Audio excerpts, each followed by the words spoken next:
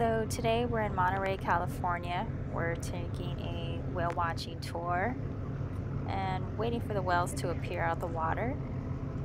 And it does take some patience, but it's really nice just being on the water and you get a lot of sightings.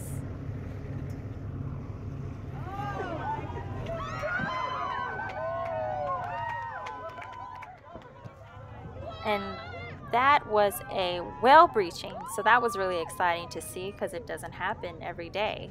So not too bad to get to see that on our first whale watching experience. I think so.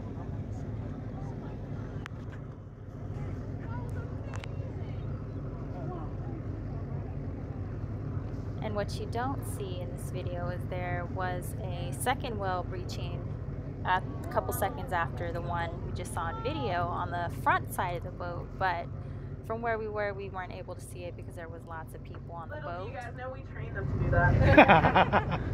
I'm just kidding. That's awesome. We haven't seen a breach like that in months. That was a double breach. I can't even. Whoa.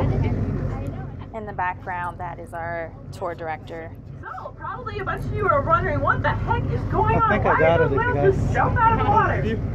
I so believe so. breaching is really common in humpbacks. Uh, actually, they're kind of known for it. They're one of the few species that does it. And we're not exactly sure why they do it. There's a couple of different theories. Um, the one that I think is probably true is that it is a communication. So these guys have really sensitive ears and they can hear these types of noises for up to a kilometer. Um, so they could be jumping as a communication to speak over long distances. It could also be that they're trying to dislodge the parasites on their skin because they do have some marine life. Or, I think this is most people's favorites, they're just doing it for fun. Um, it does look like a blast, doesn't it?